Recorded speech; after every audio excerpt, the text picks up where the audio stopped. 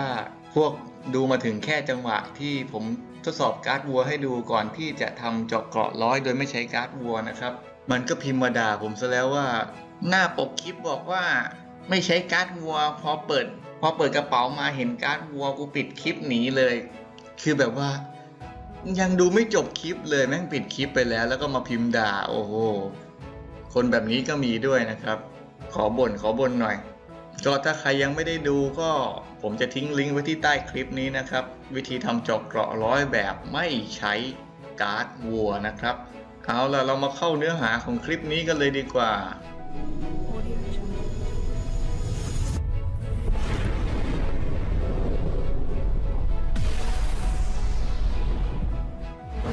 ตัวที่ผมจะไปทดสอบนะครับเป็น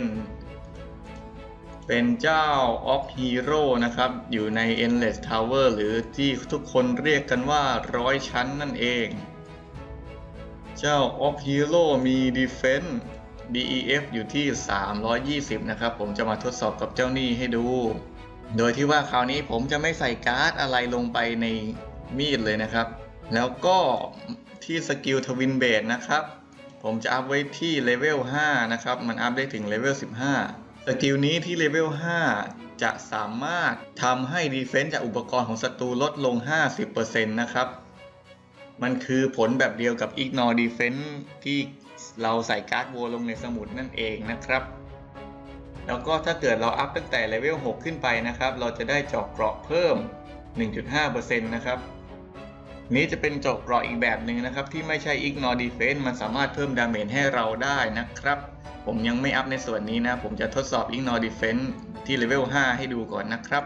ว่ามันใช้กับ boss ได้ไหม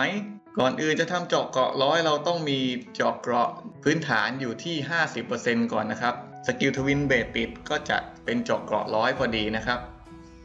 เจาะเกราะหาจากไหนได้บ้าง 50%นะครับ แบบ ถูกๆเลยก็จะมีเจ้าโลซาบาเซเลตนะครับ จาก Ignore Defense อยู่ที่ 25%นะครับ แล้วก็จะมีภาคคลุม Ancient Cave Ignore Defense 15%เป็น 40%นะครับ แล้วก็ที่เหลือก็จะได้จากการกินอาหารทำเองนะครับ พวกจานที่เป็นหน้าตาแบบนี้นะครับ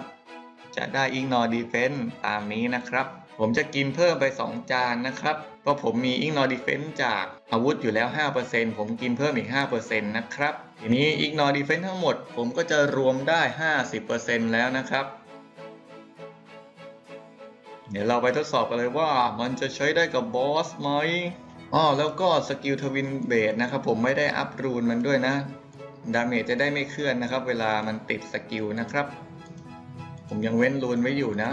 skill ที่จะทดสอบก็จะมี EDP แล้วก็ธาตุพิษนะครับ เคลือบพิษ แล้วก็ปาขวดนะครับปึ๊บออกฮีโร่ปาขวดไซมอนแฟบเบิ้ลปกติอยู่ที่ 17,900อ่าพอติด Twin Blade แล้วขึ้นมาเป็น 20,000 นะครับ ลดลงเหลือ 19,000 แล้วเพราะว่า เดี๋ยวเดี๋ยวเดี๋ยวหยุดก่อน เพราะว่าผมใส่เจ้านี้อยู่นะครับ มันจะสร้างความเสียหายเพิ่มขึ้น 5%เมื่อเลือดของศัตรูมากกว่า 50%นะครับ เมื่อกี้ตอนช่วงที่เลือดมันเกิน 50 ผมก็ตีได้ 20,000 พอเลือดมันลดต่ำกว่า 50 ผมตีได้ 19,000นะครับ เดี๋ยวทดสอบให้ดูอีกตัวหนึ่งนะครับว่ามันใช้ได้จริง ๆ นะครับ เจ้า skill Twin Blade มันเจาะเกราะ boss ได้ EDP ไปตีครับ ปาขวด หมื่นเจ็ดนะครับนะพอติด skill Twin Blade ขึ้นเป็น 20,000 นะครับ ด้วยวิธีนี้นะครับ เราก็จะสามารถทำเจาะเกราะร้อยได้โดยที่ไม่ต้อง ไม่ต้องพึ่งการ์ดวัวเลยนะครับ แต่ว่าโอกาสติดก็มีเพียง 25%นะครับ แต่เราตีเร็วตีรัวอยู่แล้วโอกาสติดมันก็มาอยู่แล้วนะครับ 25% แล้วก็สำหรับหมวกที่ผมใส่อยู่นี่นะครับ ที่เป็นเขาเนี่ยมีคนถามมาทุกคลิปเลย แล้วก็ดูไม่ถึงท้ายคลิปสักทีนะครับ ว่าผมจะบอกว่าเอามันมาจากไหนนะครับ มันก็มาจากการเติมเงินซื้อบัตรพรีเมียม EP 2 นี่นะครับ มันจะมีบัตร EP 1 อยู่ด้วย มันจะได้จากบัตรนี้นะครับสำหรับคลิปนี้ก็ต้องขอจบแต่เพียงเท่านี้นะครับ ก็หวังว่าจะมีประโยชน์ต่อทุกคนไม่มากก็น้อยนะครับ ถ้าชอบก็อย่าลืมกดไลค์ กดแชร์ กด Subscribe เพื่อเป็นกำลังใจให้ด้วยนะครับ ไว้เจอกันใหม่ในคลิปหน้าสำหรับวันนี้ สวัสดีครับ